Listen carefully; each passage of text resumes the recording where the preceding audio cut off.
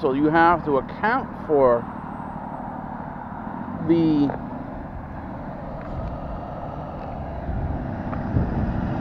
differences, the, for the variations that uh, don't really have an explanation.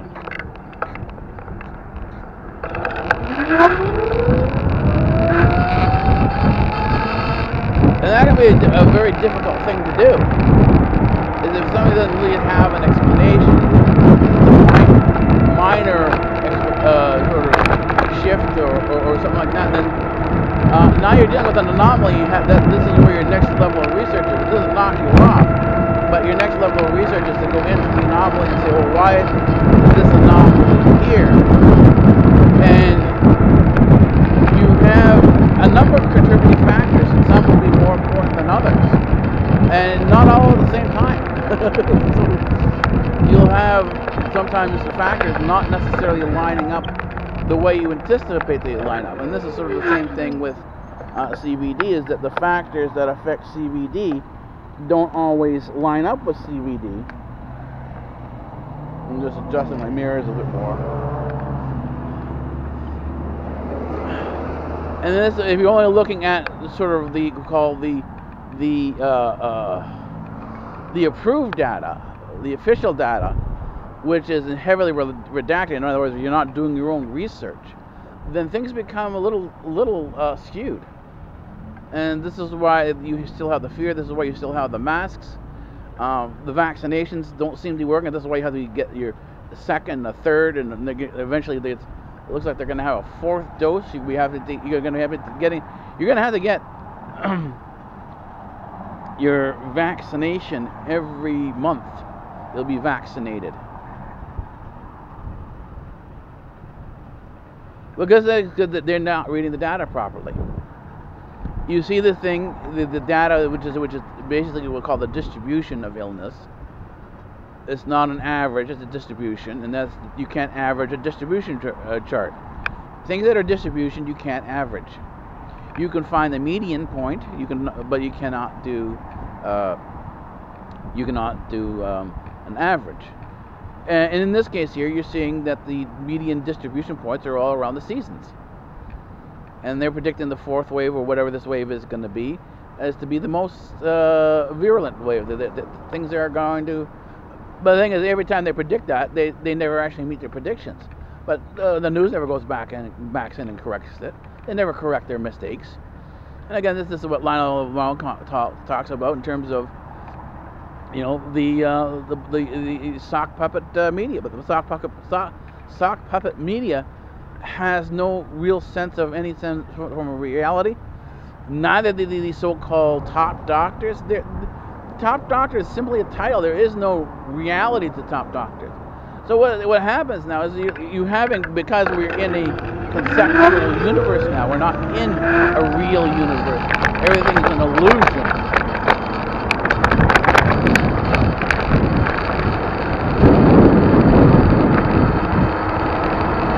you no longer have any sense of reality. So you can make up anything you want to make up, as long as people agree with you. And this is what we see happening. We see this sort of, you know. And again, we see the same thing with drivers. Why do drivers need to weave in and out of traffic to find the fastest route? Well, because the ones I've been with have racing gloves and believe and believe they're professional drivers. Here's another pro. Here's another professional driver that comes around there. We see the we see the speed limit is posted, but everyone ignores it. There is no police around to do anything about it. And the thing is, this is always the case.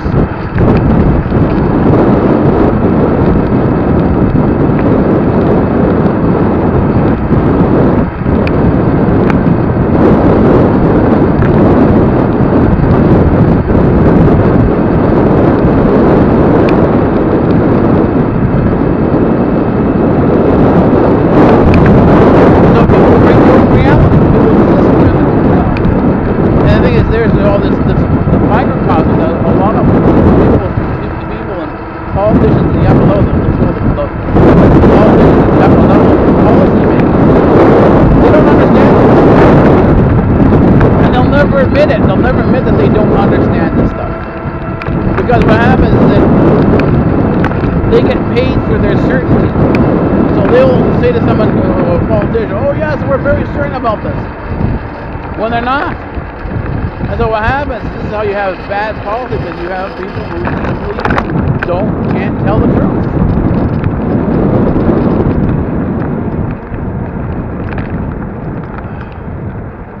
Always unknowns, there were always uncertainties. And the thing is, this is what we don't hear from both the anti-vaxxers and the vaxxers. Remember, there's two sides to this. Not only are there the anti-vaxxers, but there's also the vaxxers. Both sides are working off of public information that is not fully accurate. The accurate information is classified as uh, top secret. It's, it's not being released. And so what they're seeing is they're seeing a redacted form of data. And you cannot make any degree, of scientific value, evaluation on the on the redacted data. So what they'll do is they'll come out and say, "Whoa, top doctor so and so. I am a professional. I'm a professional. I'm a doctor. I know." and the credentials.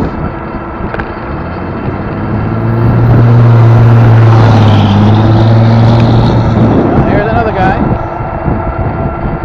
And Let's let's take a break here. There are a lot of assholes like that guy with the loud truck in the world. And unfortunately, these assholes tend to tend to move towards the government, uh, and this is the way they exist.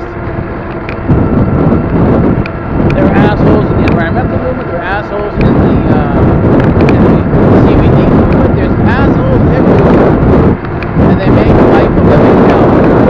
Doesn't matter.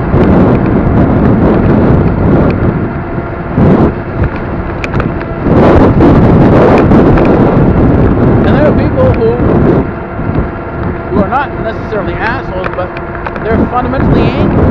The number of angry pe- people I know who are just perpetually angry and uptight are just unbelievable. And the thing is, they're never happy.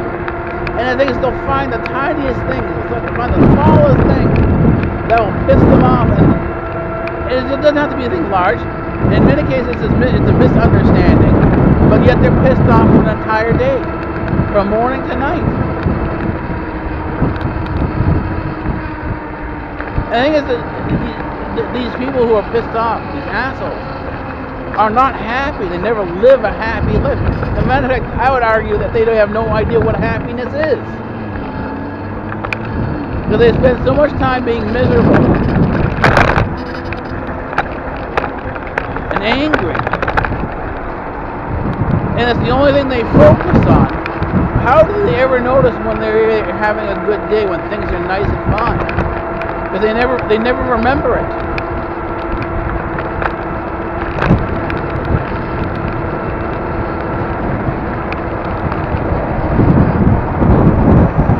The only thing that they see, the people who are like this, the assholes and the perpetually angry, the only thing that they see is their misery. And this is what Lionel talks about the people who are on Facebook, who need to signal and, and, and show everything.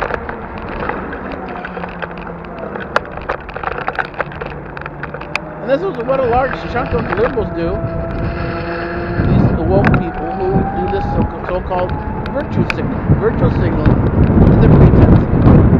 And in, in, in terms of the uh, dictionary definition, it's an affectation. Affectation is your pretense.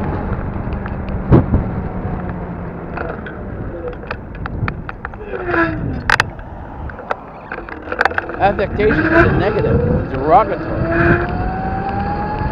Because it's the effect that you're having on other people, your personal effect that you're having on other people, that is fundamentally negative in, and false. It's a pretense. It's not, it's, pretense is something that pretend. You're pretending to be humane, pretending to be this or that. And you have really, uh, in many cases for these people, there's almost no substance behind them.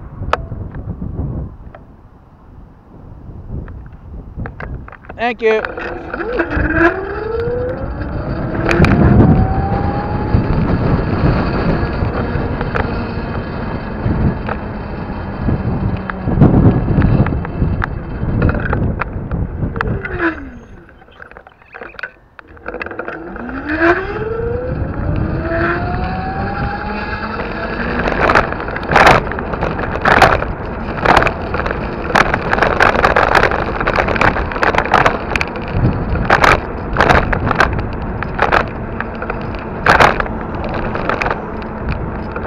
So we exist in a world that is fundamentally pretense, where things are pretend. Why I say that you know what you know doesn't mean that a teacher who is who has this pretense uh, isn't a nice person. They're just they're just not they're just fundamentally not reliable. And so in many cases you have to learn how to sort of live on your own, to be self-sufficient, teach yourself, cook for yourself, you know, fend for yourself. This doesn't necessarily mean you have to be a selfish person, person, but it just it, it, how you behave really is going to, and what you do for yourself is really going to affect how you live.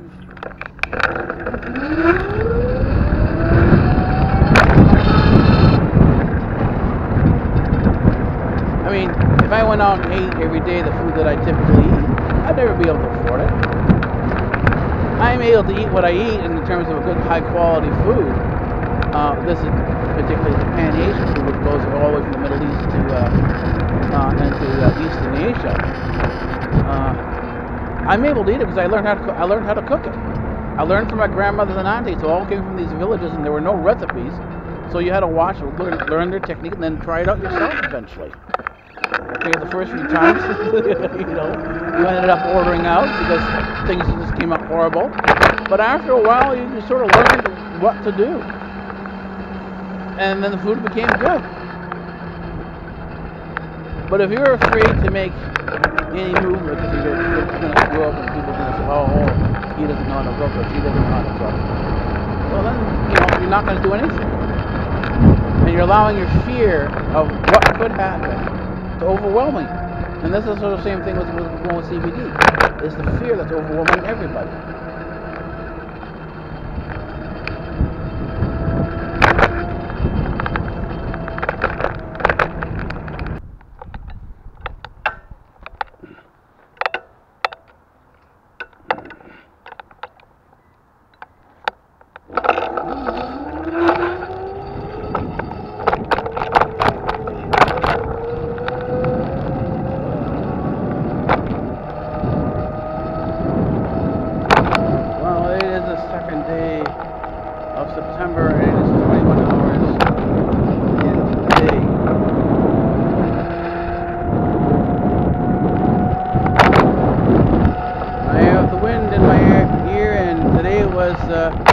Unusually cold, although I saw one of the particular reasons for it.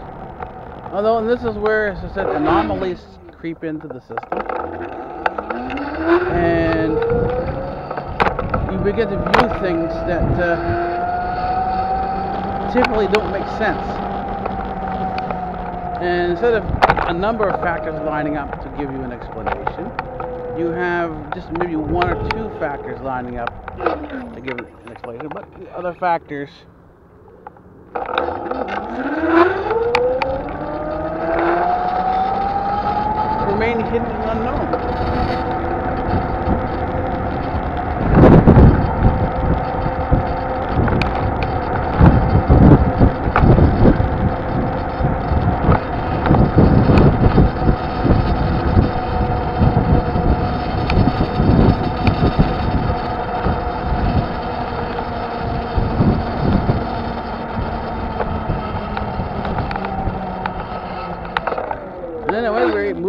an interesting period of time, a period of almost complete humanist destruction. We're at the chapter, the humanist chapter of uh, Crime and Punishment, where the humanist begins to destroy everything around him and will eventually destroy himself. I mean, this is this is the whole thing going, going into Lionel LeBron in terms of his, his issues with uh, Afghanistan. Is that Afghanistan was a non-issue to begin with. The system we provide, the system we offer, the life we offer, is so degraded that there is no fundamental difference between the Taliban and the Democrats in terms of the quality of life you have under them. This is seen in Baltimore or any of the American cities where the Democrats prevail. There are lockdowns, there are places you can and can't go, there, there are uh, just tyrannical behavior in addition to the level of crime that exists in the environment.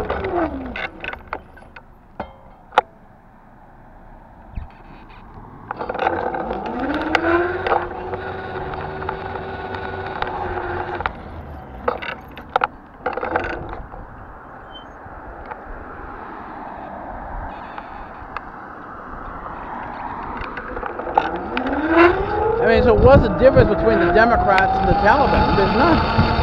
And so what happens is when you sit down and look at it like that, there is no fundamental difference uh, in terms of the quality of life that the people were living in Afghanistan. Nothing changes. And the thing is, the only thing that does change is that, okay, yeah, we see the we see the overt troops being pulled out, but let's not forget there was an entire covert program in there too. The covert program didn't change. We still see the drone strikes. So the covert program hasn't changed. The only thing that's been removed from Afghanistan is the overt program.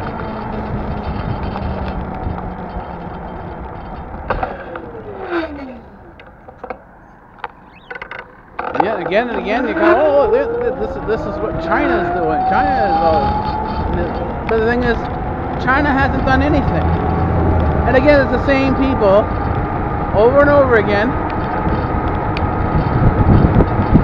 saying something, making accusations without providing any proof. Well, I heard a guy, and I know this person here, and I read in this newspaper there. Well, did you actually go and, and investigate and see what was actually going on? Did you actually do the investigation, or are you relying on other reports? So one side is doing it to the other. One side creates fake news, and the other side, the other side creates fake news as well, but Uh, in their favor.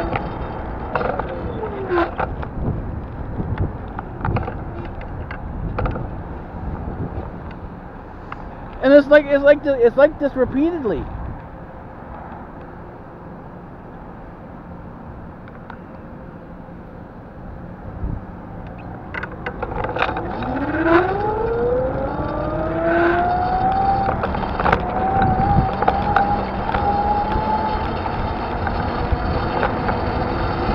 So we move into a new era of humanism, leaving an older era, which was primarily Republican. Moving it now moving into the uh, liberal left era of humanism, which is complete destruction. We'll see a repeat of the 70s. We'll see a repeat of the prohibition laws that you had in the 19, 1930s it's not really anything new, it's just different in terms of some of the particulars.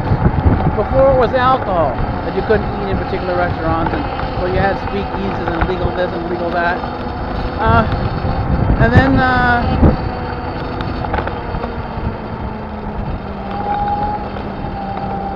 now it's uh, CBD, and unless you have your passport and proper stamp, you can't go into this restaurant and you can't go into that restaurant. Legally speaking.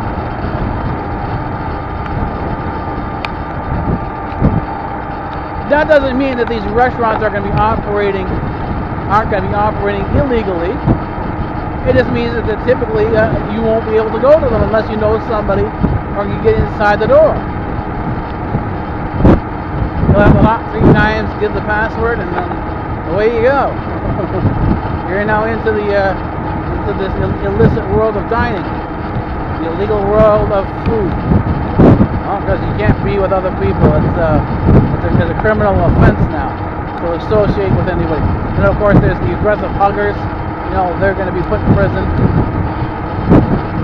And the thing is for the, Jews who are religious, and the, the, primarily I use when I use the term Jew, I use the term in a religious sense. I don't mean anyone who is of Jewish descent who doesn't fundamentally believe. They're of Jewish descent, but they're not fundamentally Jews. So we'll talk about that in that sense. But I will come back and redefine things because they need to, because people are just so well, clueless. So, do you think the Jews are going to get are going to get off on this? Their synagogue is closed down. You should see what the Jews are not going to escape this way. It's there, they're just not being. What happens this time? They're not being used in the manner they were in World War II, but they're still being used. They're still being they're still being targeted. Uh,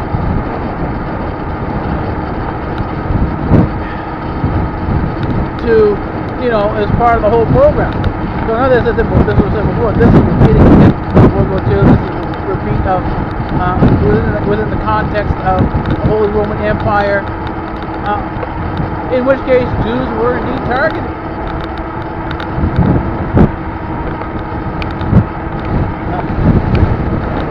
So the thing is, is, is, is what's going to go on next, how things are going to play themselves out. In many ways, I'm kind of in the I'm kind of in the mind. Okay, let's get the, let's let's get this over with. Let's get the let, let's get the Chinese in here. Let them take over and get on with their lives. I mean, I don't have any problems with the Chinese. I know people in China. I'm on WeChat. I know people in China they don't have any problem with the Chinese. It doesn't seem to be a, a, a number of conservatives who have this particular issue uh, with uh, China.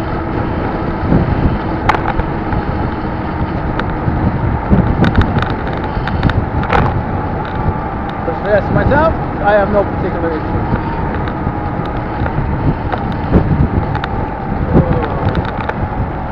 So this is where we've come into, and so now the only choice left in terms of our understanding is to move back at the gnosis and understand that the world is the, uh, the world beyond, in some form or another, will be a better place. Now, as I said before, in the standard gnosis, which includes Western Christianity, there is almost really no fundamental connection with God you have some uh, you're living in a cloud you're living in heaven you're with your family but there is no fundamental connection with god. However in the east you were all integra- we, we were all integrated with god. We become one with god not the universe. So we don't speak of the universe. We speak of god in this sense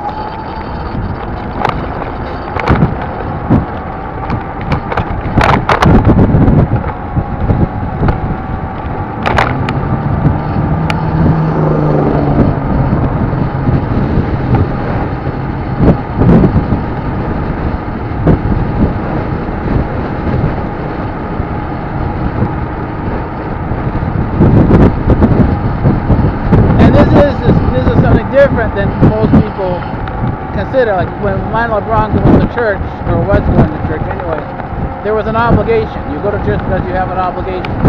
And that was it. it. When I go to church, I'm going to my other house. It's like going to my parents' house or going to my, you know, or staying at my place or whatever. It's like going to somebody's house and having a family meal or family dinner. Because although we have icons on the wall, we don't actually worship the icons what we do is we, they're there, the icons are there because they are place markers uh, for uh, the spiritual beings are relatives who we can't see because we're spiritually blind. We, our spiritual senses are dulled to the point where we need assistance. So a lot of the trappings of the church are that. They're there to assist us in uh, our uh, spiritual disabilities.